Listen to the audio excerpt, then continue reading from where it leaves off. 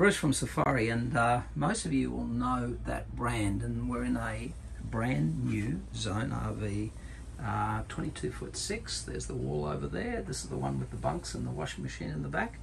And uh, meet Mandy here from WA. Mandy, how are you? Good, thank you. How are you? Good. Now, Mandy, you've got that's 5,000 watt of power here. You've got batteries underneath there. What are you going to do with all this power?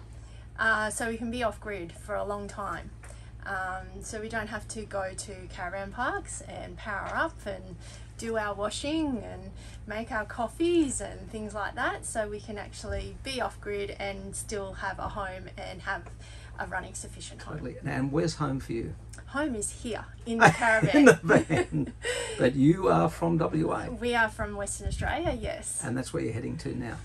To dub- back to WA for a couple of months, um, just over harvest time. best. Thank you. How good's that?